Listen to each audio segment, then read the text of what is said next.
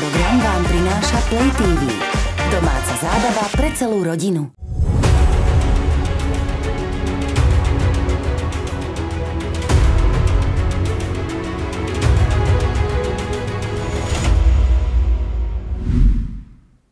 Sopečná činnosť to nie je len erupcia a tečúca láva. Čo všetko rozumieme pod sopečnou činnosťou? Čo sa deje v takých okamihoch pod povrchom Zeme, kam nevidíme? Aký dopad má sopečná činnosť na životné prostredie? Mojím dnešným hostom je geológ a vulkanológ Ladislav Šimon. Pán Šimon, vítajte u nás. Ďakujem pekne, ďakujem za pozvanie a teším sa na tento rozhovor. Teším sa aj ja, je to veľmi zaujímavá téma, aj keď u nás nemáme aktívne sopky, ale k tomu sa dostaneme.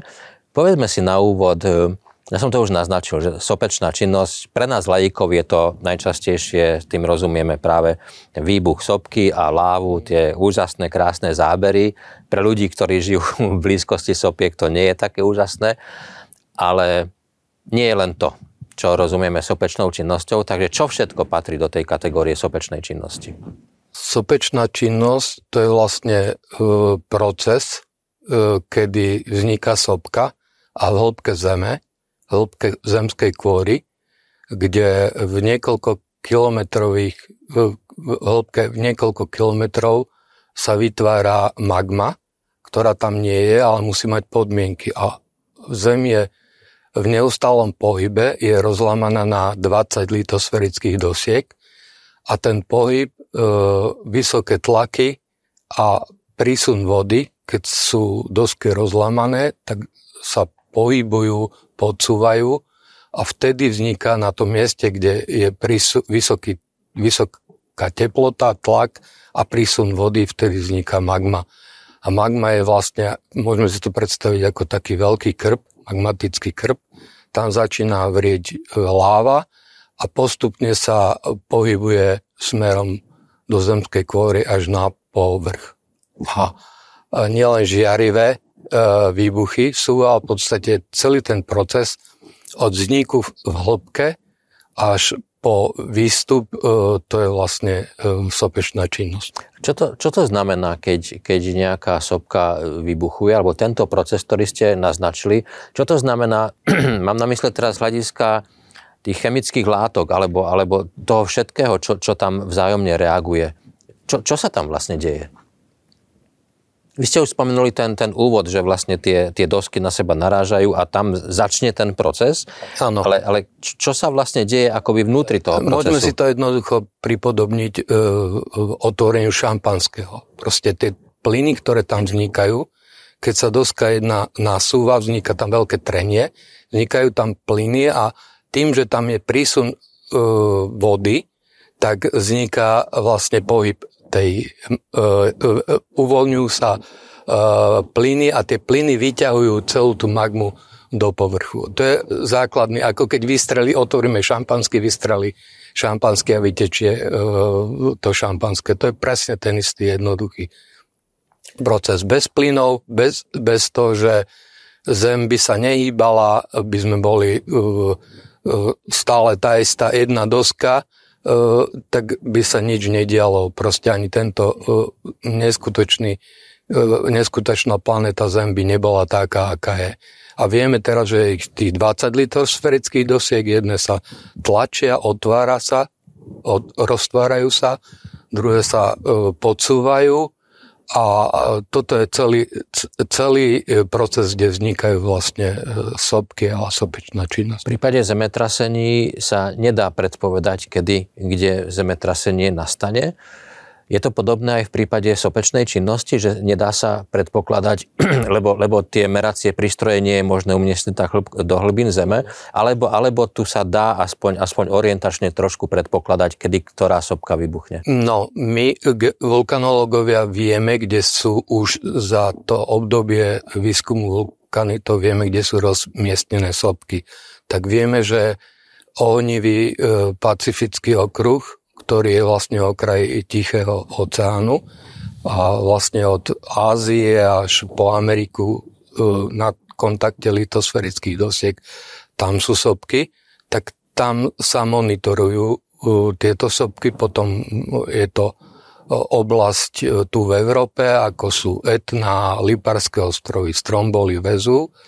Potom sú Island, tam je vulkanická činnosť a stredoafrický rift. To sú vlastne štyri hlavné zóny a vlastne tam, kde vieme teraz, kde sú litosferické dosky, tam sa to podrobne monitoruje, ale celý svet nemáme toľko prístrojov, aby sme to vedeli monitorovať. Aj zemetrasenie sa už vie dosť dobre predpovedať, ale vulkanická činnosť e, za posledných 60 rokov sa e, dosiahlo takých, e, takého úrovňa poznania, že my vieme, že keď zaznamenávame nadúvanie Zeme cez GPS súradnice skoro o 1,5 metra, vieme, že sa vydúva Zem, sa to dá spočítať, potom tam prichádza, keďže všetko sa deje pohybom litosferických dosiek, predchádza tomu silné zemetrasenie, ktoré e, bežne tam býva jeden za deň, teraz je ich 400 za deň, alebo e, za, za nejaké obdobie krátke a potom príde až tisíc zemetrasení a potom je tam jeden zaujímavý fenomén, volá sa to, že je to tiež zemetrasenie, ale odborne je to vulkanický tremor, vulkanické chvenie, kedy magma vystupuje z hĺbky hore a to má svoju určitú frekvenciu, že 5 Hz alebo zemetrasenie klasické sa pohybuje od 5 do 15 Hz, má také výkyvy, ale vulkanické chvenie je stále monotónne. Je to úplne e, psycho, proste človek e, to používajú na iné metódy, teraz v súčasnosti, takže keď postupne vystupuje, dá sa to odmerať. Potom tam vystupujú plyny, e, lebo okrem magmy e, všetko sa tam vytlačujú tie plyny, ktoré sú motorom tej erupcie, kysličník siričitý, kysličník uhličitý, fluorid a všetky tieto plyny vystupujú a to sa zachy, zachyca cez tie prístroje ktoré zistia, že koľko tam je, aký vysoký obsah je, to napríklad kysličník, kysličníka siričitého a potom e, pretepluje sa voda, to, podzemná voda je, je v tom priestore, tá sa pretepluje a spôsobuje, že je vriaca, to sa dá tiež e, monitorovať. A potom máme tu zvieratá, ktoré e, opúšťajú tento priestor alebo cítia, že je nejaké nebezpečenstvo Vieme, ak je nejaký vulkán dobre monitorovaný, vieme s takmer presnosťou predpovedať e, výbuch a práve škola, naša škola je Island teraz, čo sú posledné erupcie, čo z erupcií bolo od roku 21 až doteraz, tam v podstate trvá jedna e, erupcia. E, kde e, e, vidno, ako tí odborníci z Islandského vulkanelického inštitútu vedia presne predpovedať, kedy sa už naplnil magmatický krv, kedy to vybuchne a zachránili mnohé, mnohé životy na Islande. Vlastne sa nik, nikomu nič doteraz nestalo. To je vlastne cieľ aj odborníkov, aby chránili, predpovedali erupcie, ale chránili ľudské životy. Vy ste spomenuli Etnu na Sicílii a prizná sa, že, že pre mňa to bol obrovský zážitok, keď som, keď som šiel autom celkom z tých najvzdialenejších dedín až, až hore, pokiaľ sa autom, autom dá ísť. A bol som prekvapený, ako, ako, na aké dlhé kilometre tá láva zasiahla až medzi domy a dokonca až v záhradách a na, na tých skamenelinách vlastne e, tamojší ľudia aj pestujú e, mnohé veci. A, a bol to obrovitánsky zážitok vidieť napríklad zaliaté domy, ktoré tam sú popri ceste a byť potom takmer až hore, kam sa, kam sa dá ísť. To je, to je jedinečný zážitok. A teraz ma zaujíma, keď, keď ste rozprávali o tej etne a, a ďalších príkladoch, že tá etna, tá, tá obrovská vzdialenosť, kam sa tá láva dostala, je to špecifikum etny, alebo, alebo je, sú viaceré miesta, kde až na také kilometre sa tá láva dostane? To je e, bežné všade.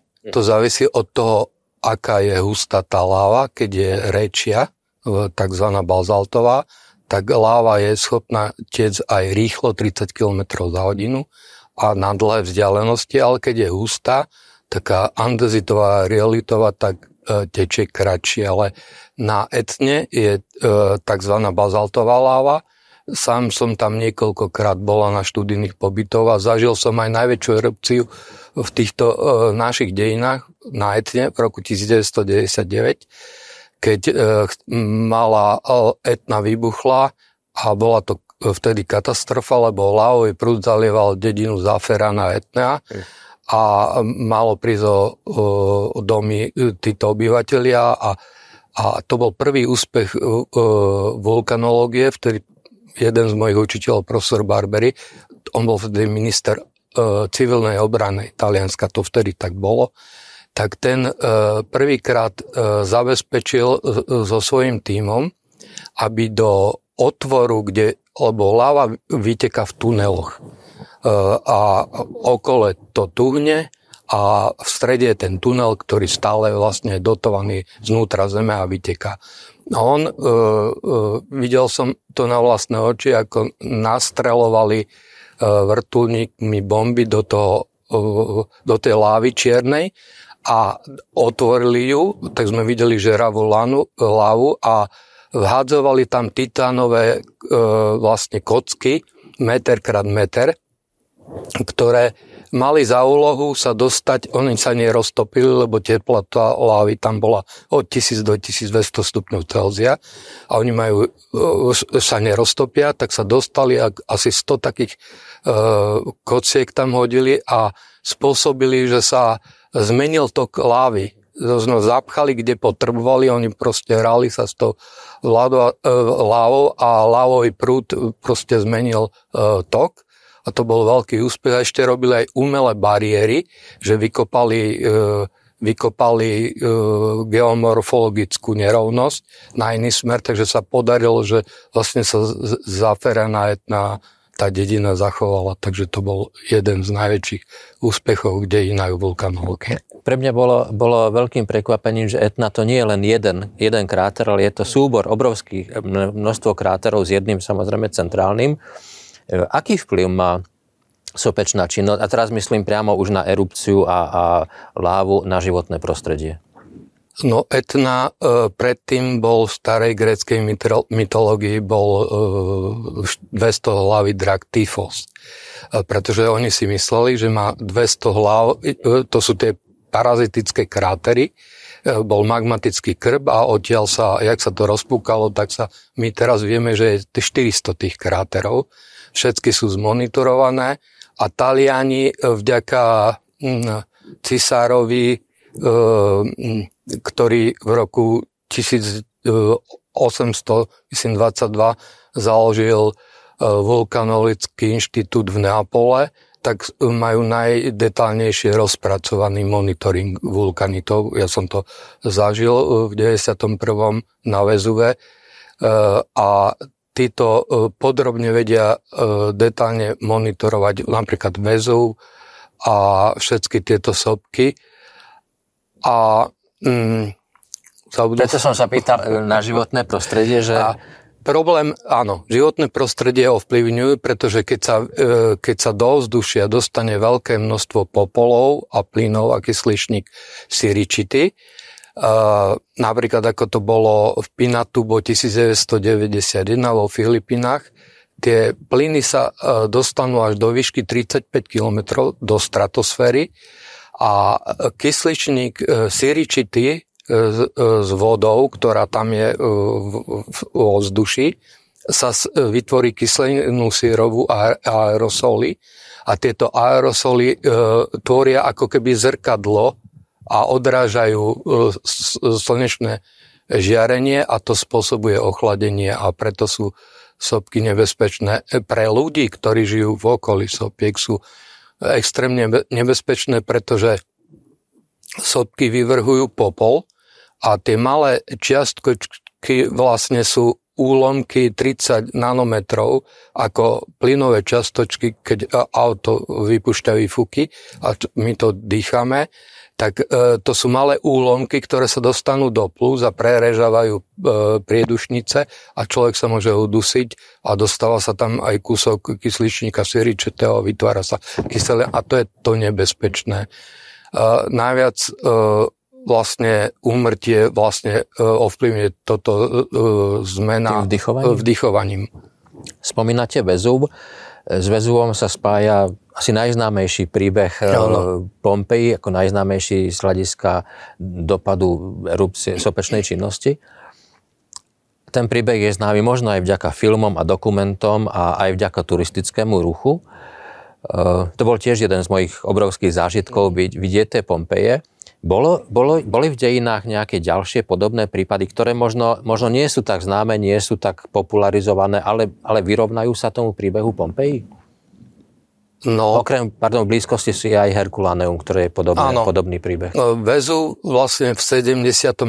nášho letopočtu uh, vybuchol, pretože Plinius uh, starší to popísal.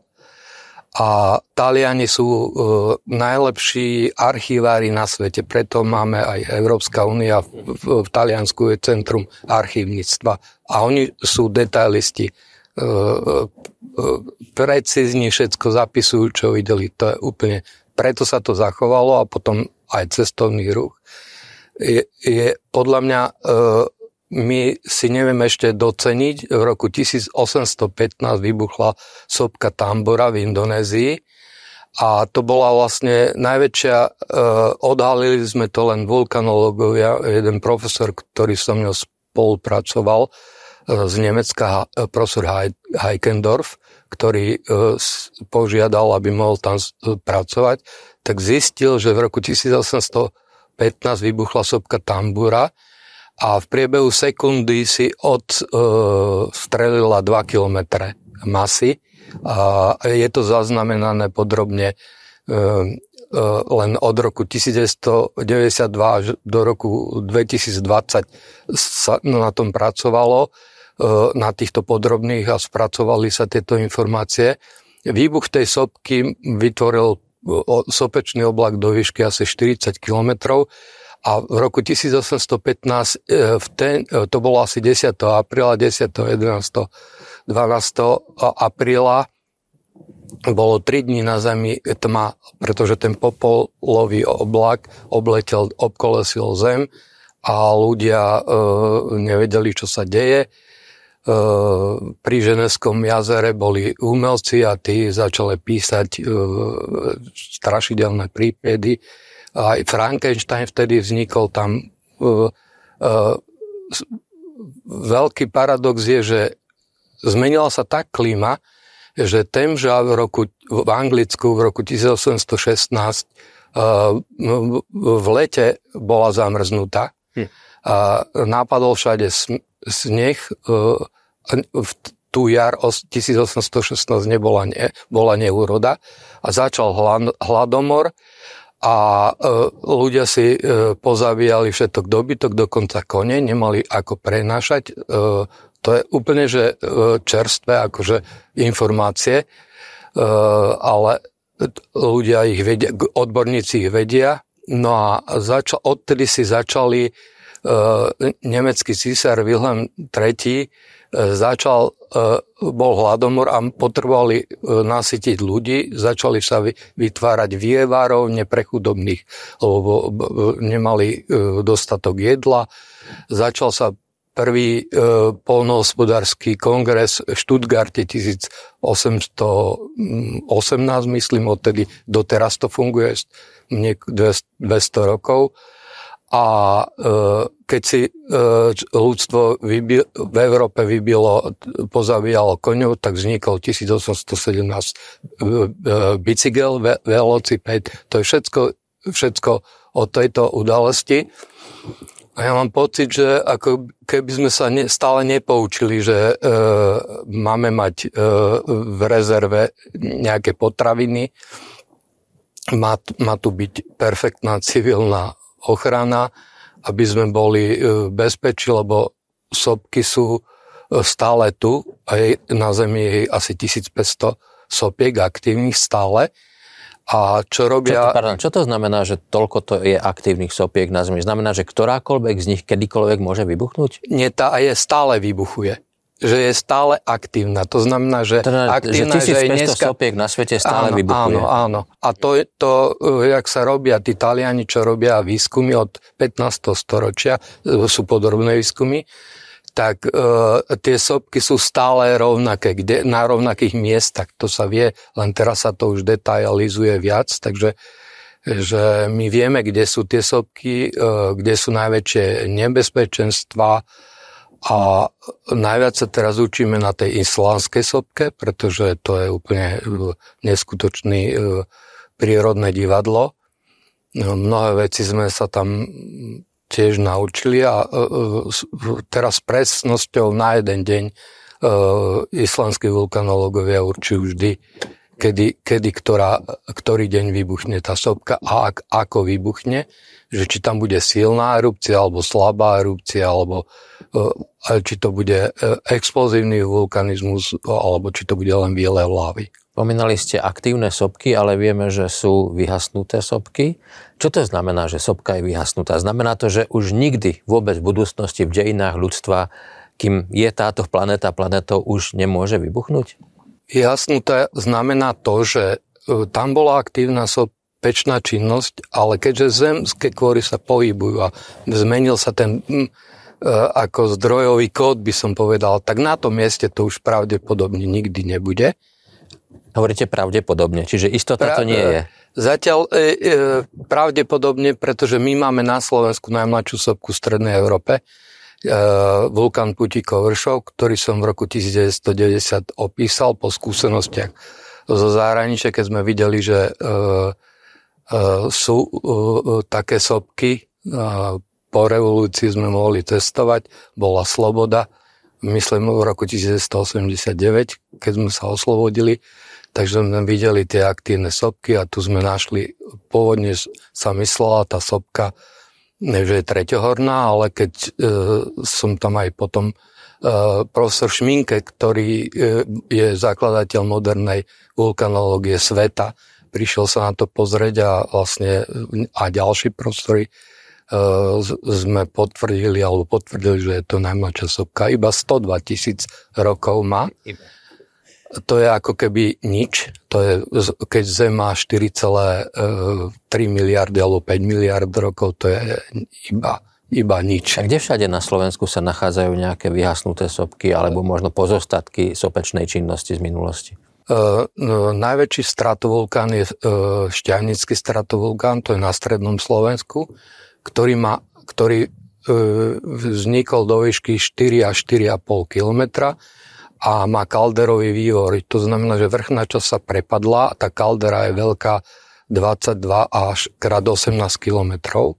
Potom sú vtáčnik, tam bol tiež jeden stratovulkán, Kremnické vrchy, Javorie, na juhu máme Burda, Kovačovské kopce pri Štúrove a tam sú v Dunajskej pánve sú skryté niekoľko, v hĺbke niekoľko kilometrov sú skrytých asi 9 takýchto vulkánov. Potom máme na juhu Slovenska e, Krupinská plan, planina, e, Cerová vrchy, vrchovina, na východe máme Slánske vrchy, e, Výhorlat. E, my tu máme samé sopky. My máme, áno, e, je asi tak 25% územia je pokrytý sopkami a vďaka tým sopkám, e, lebo sa sa tu ťažilo zlato, to všetci vieme, šťavníci v Kremnici. Vďaka tým sopkám sa vyviezla vnútra zeme e, mineralizácia zlata, striebra, meď a e, všetky minerály a preto máme tu uh, také, také zácne uh, ložiska, ktoré A vieme s istotou povedať, že žiadna z týchto sopiek už nikdy nevybuchne? My, keď je vyhasnutá sopka E, preto hovorím pravdepodobne, e, nevybuchne s istotou 99,99%. Nemôžete e, nikdy tvrdiť, že nie je niečo nemožné. To, povedzme to Áno. tak. Čo bolo pre vás počas tých rokov, ktoré sa tomuto venujete najväčším zážitkom? Pr- najväčší zážitok je asi to, keď som predtým zo záujmou videl filmy v televízii alebo v kine alebo na videopaske a keď som prišiel e, na Stromboli, na vrcholec a počul som naživo, ako vybuchuje sopka, ako to e, smrdí, vonia, ako to duní a, a ako keď vy, vy, vybuchla erupcia a padali drobné e, popoly, bombičky a potom väčšie bomby uh, a bombičky. A až raz, uh, keď som tam prišiel na druhý deň, som videl tam takú veľ, veľkú bombu 2x3 metre, tej som si uvedomil, že to je absolútny adrenalín. A raz, keď sme tam mali na jednom mieste uh, študentskú exkurziu, tak bola taká silná explózia, že e, sme sa všetci hodili na zem, ako keby bol nejaký výbuch. To bol reflex človeka. Takže e, naživo vidieť niečo, každú jednu časť je iné, ako pozrieť si to v televízii a každému doporučujem, e, aby si sadol teraz do auta za 2000 km napríklad na Etne toto môžem potvrdiť, to je obrovský zážitok, to som už spomínal, ale je nejaké miesto na Zemi, teraz myslím sopečné e, miesta na Zemi, kam ste sa za tie roky nedostali a chceli by ste sa tam dostať, či už z hľadiska e, ved, ako vedec, bádateľ, alebo len ako človek, ktorého to, táto téma zaujíma? Uh, pochodil som do Sopiek a ja vám poviem, že najradšej mám tie slovenské a nemám nejak sen. Tie sú najbezpečnejšie. E, nie, nie, nie, lebo e, e, sopka, kde je kopu stromov storočných, 300 ročných alebo 400 ročných a pritom pracujete. Napríklad na vtačníku je dubový les 400-300 ročné dubia a, alebo na Polane, keď som mapoval, tam sú pralesy. To, keď idete medzi tými sopečnými lávovými prúdmi, je to úžasné. My totiž to na Slovensku máme sopky, ktoré sú vlastne zerodované a my sa pozeráme ako keby e, do ich čriev. A keď idete na aktívnu sopku, tak vidíte iba ten vrchol hlavu a kde to vybuchuje. A, a v podstate e, bez, e, nie je tam vegetácia, nie je tam nič a e, napríklad teraz si spomínam, obdivoval som e, manželov taliansko-nemecký pár, e, manželov kraftovcov, ktorí popularizovali a možno aj mňa motivovali, aby som bol vulkanolog. Popularizovali vulkanológiu, natáčali všetky filmy a v roku 1992 sa chystala veľká explózia na sopke Unzen v Japonsku a oni s celým štábom 42 ľudí išli to natočiť, lebo e, bude veľký pyroklastický prúd. No a, a ten pyroklastický prúd bol taký extrémny, že vlastne za, e, zasypalo celú tú horu a, a títo ľudia vlastne tam ostali, celá expedícia. E, my si to ako vulkanológovia súdstov spomíname, že to je moja, moja asi odpoveď, že človek čím je starší, tak e, vie e, už racionálne prevážiť, čo je pre ňo lepšie alebo ne, nelepšie. Takže najradšej by som išiel na vulkán Putikov vršok na strednom Slovensku. Tam je krásne vidieť e, e, struskový kúžel, tak ako na Ecne, keby ste išli. Málo ľudí tam bolo na Slovensku, lebo si to pozrie e, minimálne, možno tisíc ľudí tam bolo viac nie, ale boli tam všetci vulkanológovia Vidíte hore a vidíte, jak z krátera sa vylievala láva až 3,2 km e, prehradila Hron pred 100 tisíc rokmi a to vidno aj na e, topografických mapách, že vytlašila Hron, takže Hron tečie ako keby bola tam láva. A e, to je pre mňa asi najväčší zážitok.